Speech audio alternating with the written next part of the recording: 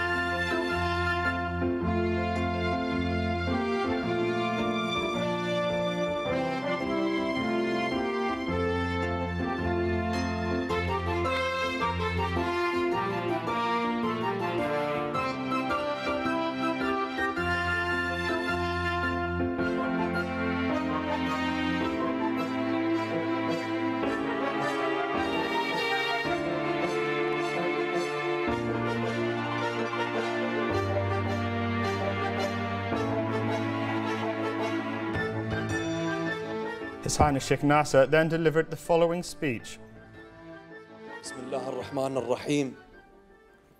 Generals, distinguished guests, Assalamu alaikum wa rahmatullahi wa barakatuh. It is an honor for me to welcome you to the Kingdom of Bahrain and the third edition of the Middle East Alumni. His Majesty King Hamad bin Isa Al Khalifa, King of the Kingdom of Bahrain, would like me to take this opportunity to pass on his personal regards and wishes every success for this international gathering. This event marks the coming together of the commandants of the military academies and the alumni from around the GCC and three United Kingdom military colleges. Today brings together many old friends and colleagues who all share a unique and very special heritage having passed through their respective military academies, generally at a fairly young age before embarking on their military journey, in several cases to lead them into a complex, challenging world. Old friends and colleagues will undoubtedly be reunited, but it is also an opportunity to make new acquaintances with our sister services from across the GCC and the United Kingdom. Whether we are Navy, Army, or Air Force, we all share a similar background and have followed similar paths as well. The bonds that unite us, regardless of services, are therefore very strong. At this gathering, of the international alumni, through shared knowledge and experience, we will develop closer military ties in the interests of a stronger collective defense. I'm hoping that a common vision among alumni would not only reinforce our already strong bonds, but also help us to exchange information, experiences, and grow together. This alumni should be transcend boundaries and borders regardless of the political or military context in which we find themselves in. The conference tomorrow, inshallah, will see you showcase your institutions and explain the challenges you have while operating. I'm very sure that COVID protocol will be one of the themes that will play a part of your presentation. COVID-19 has changed the way we train and operate on a day-to-day -day basis and that will not change going forward. Adapt and overcome features in many of our mottos. So I really look forward for the next alumni gathering where we will see many more Middle Eastern col colleges joining us, inshallah. In some cases, military academies, institutes that will add immense value to this organization. Guest countries outside of the Middle East will be asked to attend and add a huge value to this meeting. I look forward to meet with as many of you as possible and hope that you are able to make the most of opportunities to renew and strengthen relationships while forging some more. Wish you best of luck. Wa shukran. Speeches were then delivered by the Commandant of the Royal Military College, Sandhurst, Major General Duncan Capps, the Commander of the Royal Naval College of Dartmouth, uh, Captain Roger Readwin, and Commander of the Royal Cranwell Air College, Commodore Andrew Dickens. After that, the Commander of the Royal Cranwell Air College handed His Highness Sheikh Nasser the College Medal. He also honoured BDF officers graduating from Royal Cranwell College. The ceremony was attended by Commander of the Royal Isa Military College, Major General Abdurrahman Khalifa Al Nuaimi, Director of Military Training, Major General Salah Rashid Al Saad, a number of graduates of the military colleges participating in the ceremony, including BDF officers and a number of senior BDF officers.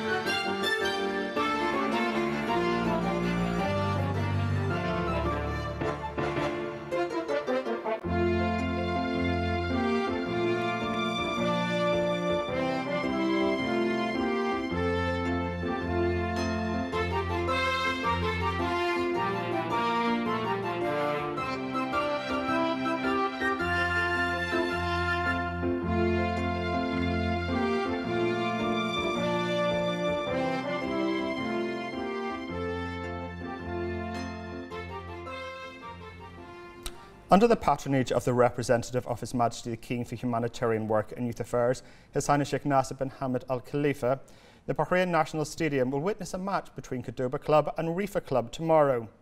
His Highness affirmed Qurdoba Club having friendly matches and looking into the sports institutions and expertise of the kingdom in, under the framework of the cooperation between the Spanish club and Bahraini clubs in order to gain more experiences.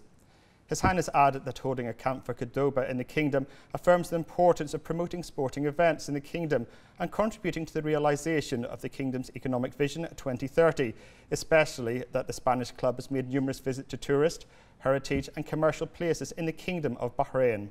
His Highness wished Qurdoba and Riffa team success in the upcoming friendly match. The first Deputy Chairman of the Supreme Council for Youth and Sports, President of the General Sports Authority, the GSA, and President of Bahrain Olympic Committee, His Highness Sheikh Khalid bin Hamad Al Khalifa, and Oman's Minister of Culture, Youth and Sports, His Royal Highness Theyazin bin Haitham Al Said, attended the Bahraini Omani Sports Day, which was held in Oman. On this occasion, His Highness Sheikh Khalid expressed his pleasure in being in Oman, asserting the deep rooted historic relations linking the two countries and their people. His Highness lauded the advanced level of bilateral ties and the joint cooperation that contributed in achieving different successes in all fields under the support and keenness of His Majesty King Hamad bin Isa Al Khalifa and His Majesty Sultan Haytham bin Tariq of Oman. His Highness Sheikh stressed his aspiration for further enhancing efforts to implement joint sports programs that achieve positive gains in the sports sector in both countries and boost partnerships that help in developing sports and its affiliates in the GCC countries. His Highness praised the efforts exerted by Oman's Minister of Culture and his contributions to supporting the GCC sports movement, wishing His Royal Highness further successes. He also commended the success of the Bahraini Omani Sports Day, noting the organisation of this event as one in a series of joint sports events that will enhance efforts to accomplish further progress and development for sports. His Highness Sheikh Khalid launched the triathlon race, marking the start of the Bahraini Omani Sports Day. Then His Highness watched a show for the capoeira sports, which is one of the Brazilian martial arts. Later, His Highness visited a paragliding exhibition and attended a paragliding show. At the end of the event, His Highness honoured and congratulated the first place's winners, praising their outstanding performance throughout the competitions, wishing the other participants the best of luck in the rest of the races.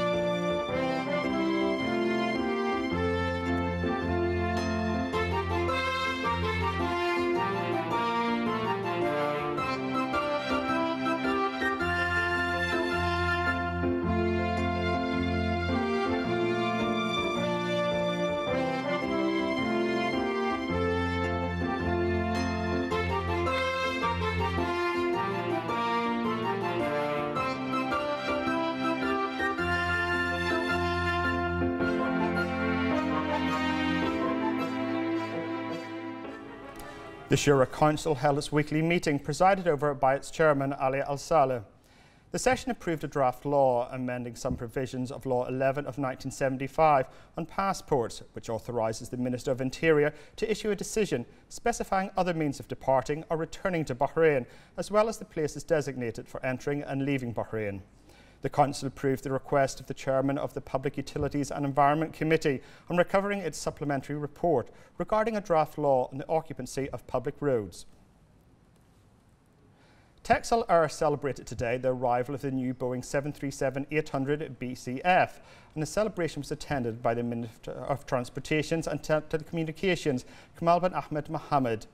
The Minister expressed pride in this moment, which is the first of its kind in the Middle East, operated by Texel Air in the Kingdom of Bahrain, and added that this success reflects the significance of the Kingdom's infrastructure and progress. He expressed keenness to support private airline companies in order to achieve further expansion and innovation.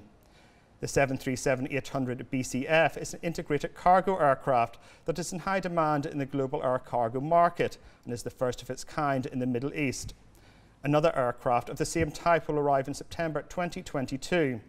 The new aircraft will enable Texel Air to ship larger quantities of goods and travel longer distances and new destinations to serve its current and future customers in the Middle East, India, Turkey, East Africa and other global markets.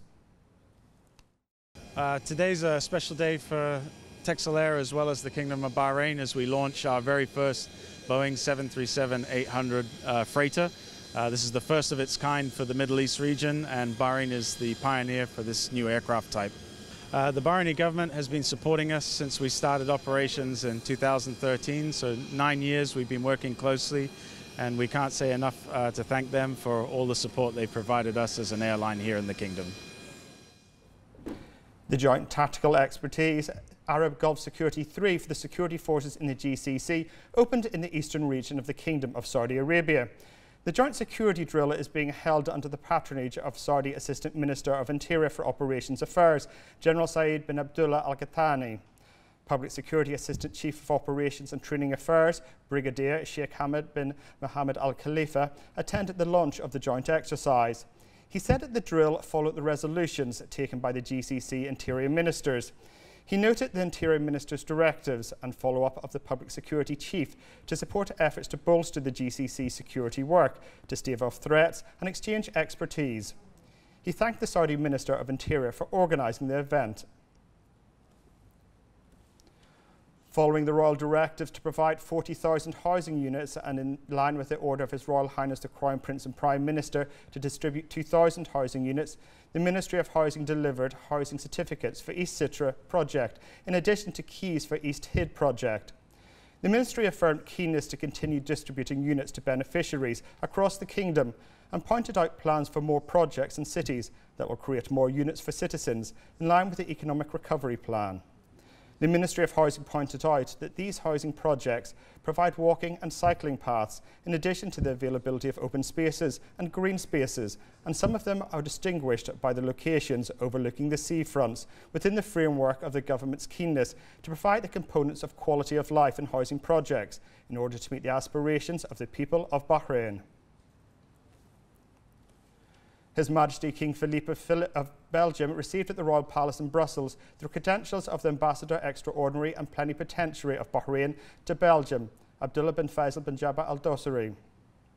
The ambassador conveyed the greetings of His Majesty King Hamad bin Isa Al Khalifa and His Royal Highness the Crown Prince and Prime Minister, Prince Salman bin Hamad Al Khalifa, to His Majesty King Philippe, as well as the best wishes of further progress and prosperity to the government and people of Belgium. The Belgian monarch congratulated the ambassador on his appointment, looking forward to enhancing joint cooperation across all fields. General Directorate of Civil Defence, a General Directorate of Traffic Department and Police Directorates in the Governorates and the Police Patrols dealt with more than 479 reports related to heavy rain in the country. The Operations Directorate activated the emergency plan in coordination with the competent security authorities and took field measures which contributed in managing traffic and dealing with the consequences of the rainfall. The General Directorate of Media and Security Culture was keen to broadcast awareness messages through the Ministry of Interior's account on Twitter, calling for motorists to abide by traffic rules in light of the rainy weather, including reducing speed, not being occupied with anything other than the road, and doubling the safety distance among vehicles. The Ministry of Works, Municipality Affairs and Urban Planning affirmed that a rain emergency team held inspection visits across the Kingdom's governorates to deal with accumulated rainwater. The Ministry pointed out the need to coordinate with the concerned authorities in this regard to facilitate traffic and eliminate the repercussions of rainwater accumulation. The Ministry confirmed that it monitors rainwater collection sites, provides mobile pumps and drainage systems, and distributes tanks in advance to withdraw the accumulated water. The ministry also revealed that it has reclaimed the rain drainage holes and open channels to maintain the flow of water and to clean and count the water collection points in the different governorates and has been entered into the system, the designated database, in order to put place the appropriate mechanism to deal with this issue. The Kingdom of Bahrain joined the GCC states in celebrating the Gulf Child Day, observed every January on the 15th. The Gulf Child Day is an opportunity to shed light on Bahrain's innumerable achievements, goals and projects aimed at protecting children and ensuring the integrity of their physical and mental development, as well as ensuring that they enjoy the full rights in accordance with all international laws and agreements. To speak more about this, we turn to member of the Council of Representatives, Mazuma Abdurrahim, who is the Deputy Head of the Parliamentary Permanent Committee for Women and Children. Recently, we had it in Bahrain and in GCC country is the 15th of January that celebrates the occasion of the Gulf Children's Day. Of course, that uh, in Bahrain we have the important attention that raised every year to our kids, our children, and the support for what we're having in Kingdom of Bahrain. It is all because of the uh, our leadership his Majesty King Hamad bin Isa Al Khalifa, with the support of His Royal Highness Prince Salman bin Hamad Al Khalifa. In Kingdom of Bahrain to provide children with the very importance that it's for everyone. We see it with the pandemic COVID 19 is health number one.